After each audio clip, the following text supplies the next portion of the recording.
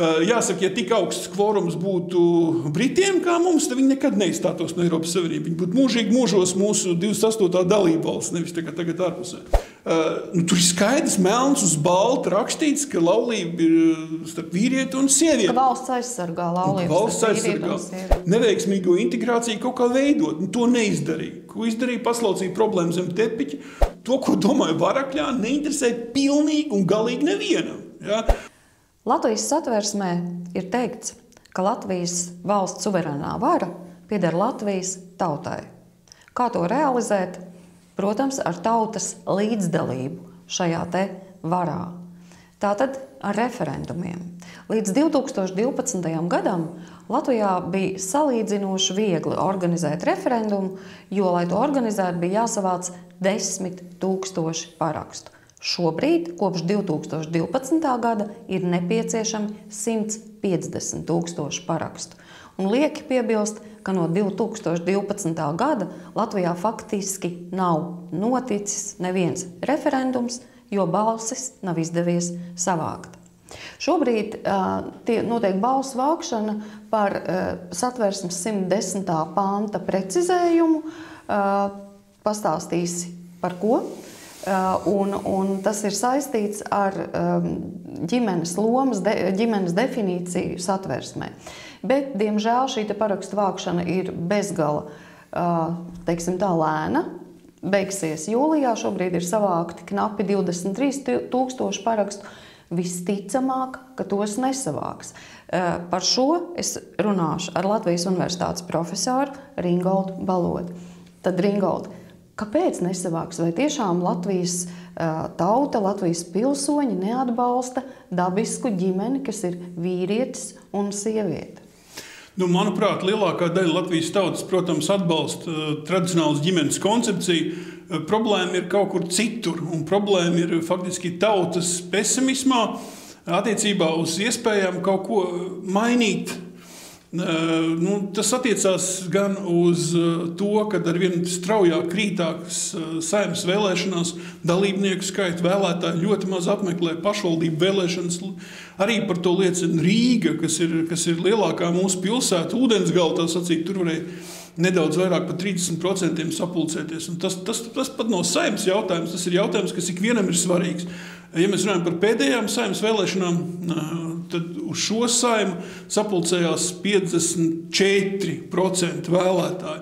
Tas, ko tu saki par 2012. gadu, jā, mēs varam novilkt tādu robežu šķirtni.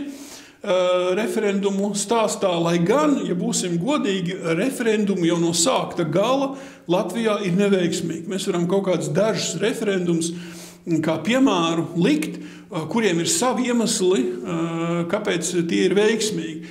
Pirmā neatkarības periodā mums bija kaut kādi četri referendumi, un līdz 2012. gadam arī kādi septiņi. Bet tur nebija šī, te, protams, noteiktā 155 tūkstošu griestu. Ja, tur bija 10 tūkstoši. Bet tā problēma, kāpēc arī, kad referendumiem vajadzīgo parakstu skaitu var savākt, viņi beidzās ne ar ko. Tāpēc, kad eh, satversmē ir noteikts ļoti augsts algoritms eh, dalībnieku skaitam, lai grozītu Latvijas satversmi, ir nepieciešams, eh, lai tam piekristu puse no balstiesīgiem vēlētājiem. Cik tas ir apmēram? Nu, tas ir apmēram, ja iepriekšējās saimnes vēlēšanās, kā es teicu, sanāca 54, tas bija kaut kur pie 850 tūkstošiem. Tad, lai pateiktu par, vajadzēja kaut kāda arī 750 tūkstoši. Nu, tas cipars ir ļoti liels.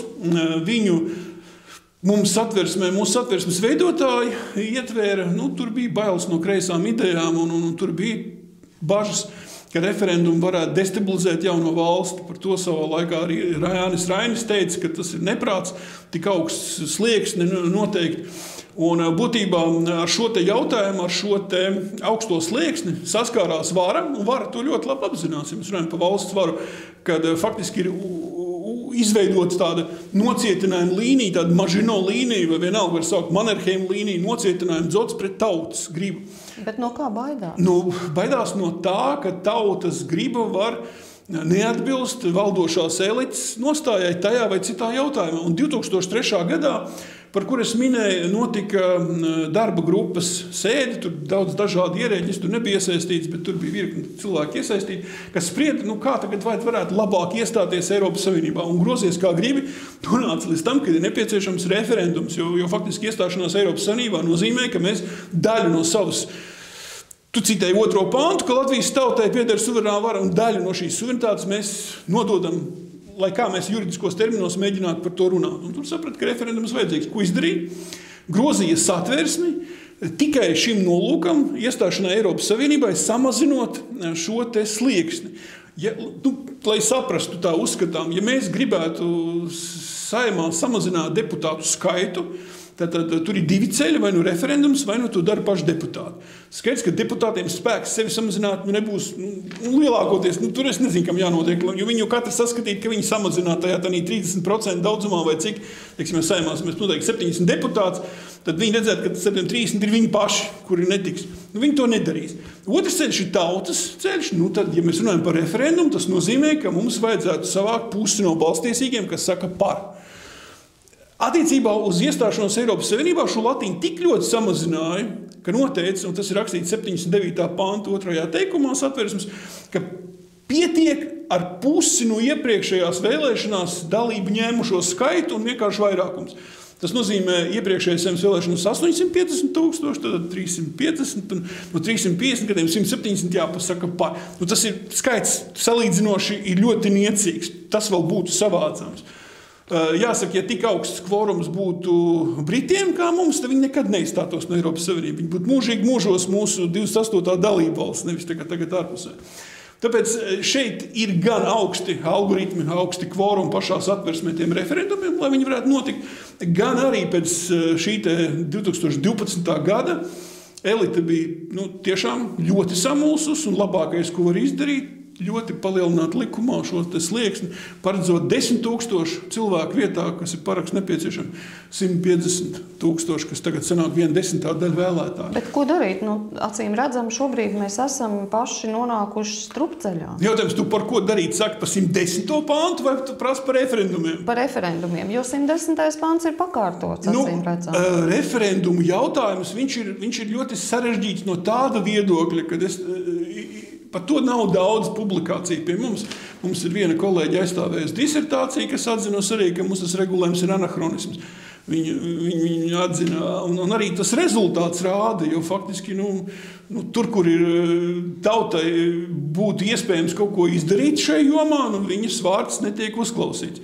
Viņi to nevar izdarīt. Nu, būtu jāsamazina gan satversmē tas slieksnis, attiecībā uz satversmes grozīšanu gan arī būtu jādomā, cik ļoti mēs varētu Eh, šo ciparu 155 samazināt. Nu, es piekrītu, 10. Pa, pa, pa, nu, tas nu, vienkārši ļoti maz. Jā.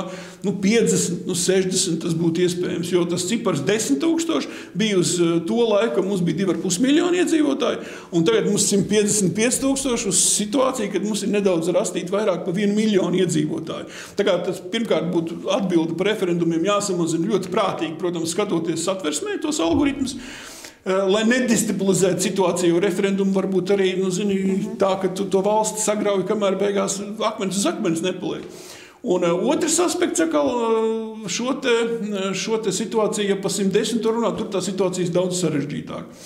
Redzi, mēs visu laiku centāmies Latvijā nu, kaut kā neaizskart to, to vērtību sistēmu, kas ir tiesnešiem. Principā tā situācija vienmēr bija tā, ka Nu, tas ir tiesnesis, viņš ir labs jurists, viņš tā sacīt, eh, ir sasniedzis kaut kādu savu zinām noteiktu robežu karjerā.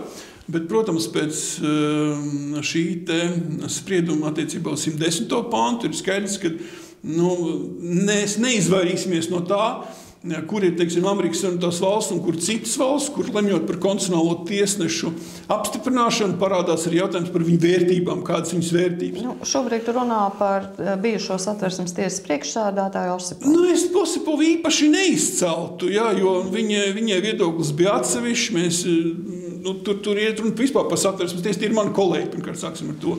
teiksim, satversmes tiesā ir, ir visi mani kolēģi. Nu, nu, juridiskās fakultātes otrā stāvā ir trīs katedras nelielas, un no katras katedras ir pa cilvēkam. Un Osipovs vienkārši viņa kā tiesas priekšētāji ļoti plaši un skaisti, kā jau, kā jau, kā jau profesori, kura pasniedz studentiem ilgadīgi krāšņi, kā jau socioloģi izskaidroja. Par to viņi arī dabūja šo te acitienu no parlamenta, kurš tad attiecīgi par viņu nenobalsoja kā par augstākās tiesas tiesnesi. Un šī gadījumā iet runa par, par, par, par divām lietām.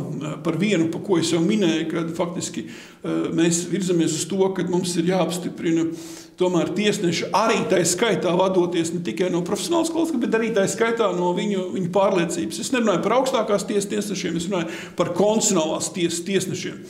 Un otrs aspekts, kas, kas, kas, kas ir noticis, jā, bet tā, protams, arī tas, tas satversmes tiesas lēmums par, par 110. pantu ir, ir, viens no tiem simptomiem, ka mūsu satversme paliek tāda, nu, ka viņi dzīvo savu dzīvi un tā valsts savu dzīvi. Un satversmē, redziet, mēs varam runāt citos gadījumos par interpretāciju, ko tur, tur nonāk līdz kaut kādam zināmam secinājumam.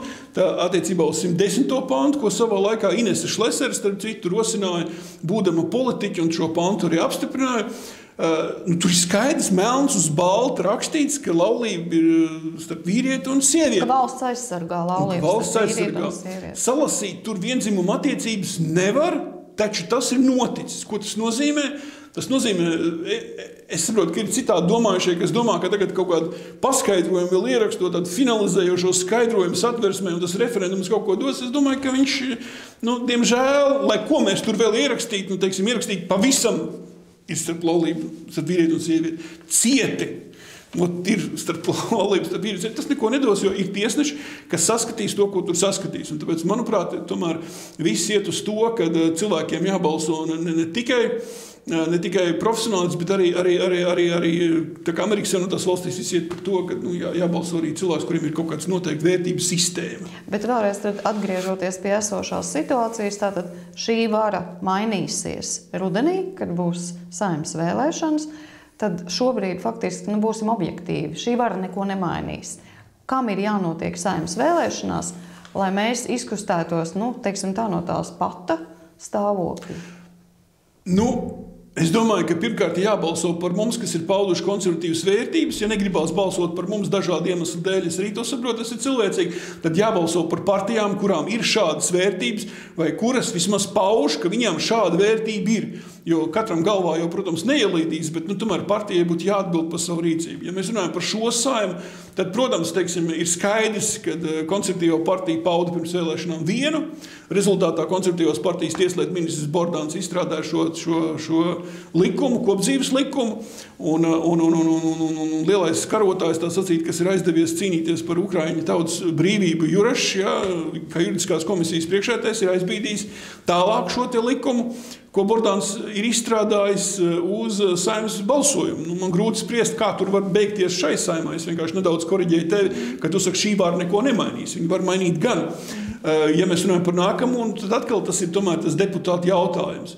Es domāju, ka jautājums par referendumiem ir arī nu, ļoti būtisks no tāda viedokļa, ka tomēr mm, tas vēlētāju pilsoņu Uh, uzticība varas vērtībām diezgan strauji krīt lejā. Ja, ja, ja, ja pirmā neatkarības laikā Ulmanis savu apvērsumu pamatoja to, ka cilvēkiem ir zudusi ticība, ka demokrātiskā ceļā var uh, kaut kādu uh, cilvēku politiku realizēt cilvēcisku, nu, tad nu, tur nu, principā 80% cilvēku gāja uz vēlēšanām.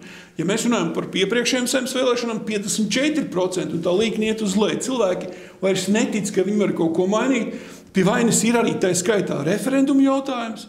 Jo, ja mēs runājam mūsu partijas teiksim, ieskatā, tomēr mēs orientējamies gan uz krievu, gan uz latviešu tautas cilvēkiem. Un jāsaka, 2014. gadā eh, notika balsojums par otru valsts valodu. Mūsu partija, protams, iestājās par vienu valsts valodu, un savādāk tas būt nevar. Bet tas 2012. gads bija. bija nu, mirklis, kad varēja censties sākt to neveiksmīgo integrāciju kaut kā veidot. Nu, to neizdarīja. Ko izdarīja? Paslaucīja problēmu zem tepiņa.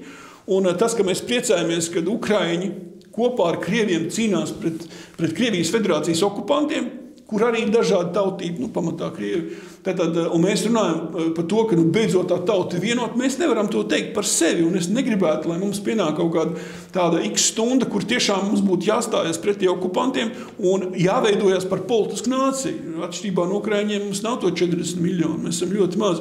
Un tāpēc teiksim, viens no elementiem, kas man patīk šai partijā, kurā es tagad esmu, ir virziens uz politisko nāciju. Tad, tad veidot šo politisko nāciju konkrēti partijai ar politiskām darbībām, iesaistot abu, abu tautu cilvēkus. Ja mēs paskatāmies uz šo situāciju vēl plašāk, tad, tad saimnes vēlēšanās tas radītājs krīt, krīt referendumu arī savu iespēju atstājuši. Turklāt vēl arī šī administratīvā reforma parādīja gan pašvaldību līmenī, piemēram, tiem varakļāniem. Tie saka, mēs domājam tā, nu nevienam neinteresē, ko viņi domā. Ja, to parādīja gan tiesa, gan, gan parlaments. Ja. Nu, mēs jau varam dažni dažādas izdomāt tiesiskas algoritmus, lai nonāktu līdz rezultātam. Bet rezultātā tie varakļi, to, ko domāja varakļā, neinteresē pilnīgi un galīgi nevienam. Ja. Un tas atkal parādīja, ka vara attālinās no tautas. Es pilnīgi saprotu, ka to pašvaldību bija pa daudz, bet tajā pašā laikā, ja mēs paskatāmies uz varam, Tad uh, ir vesela ministrija, kur pamatnodarbe tomēr ir pašvaldību kūrēšana. Ja mēs paskatāmies uz pašvaldībām, viņas skaits pavisam sarucis. Iedzīvotāji no 2,5 miljoniem sarukuši līdz vienam. Ringo, tu tagad uzskaitīji virkni, virkni, un tu varētu vēl turpināt Jā, uzskaitīt virkni šo problēmu, kuras ir radušās tieši caur to, ka suverēnā vara nepieder šobrīd reāli Latviešu, Latvijas tautai. Uz papīra pieder. Uz papīra, jā, bet dzīvē. Bet es arī mūsu šo pirmo sarunu ar Ingaudu Balodi, kurš mūsu partijā patiešām ir uzņēmies atbildību par valsts pārvaldes reformu tēmu, tā skaitā arī par šo jautājumu. Šī ir pirmā saruna. Nākamā saruna sekos par tautas vēlēta prezidenta institūtu, kas arī ir viens no Ringolda akcentiem arī viņa docēšanas darbos. Paldies! Paldies.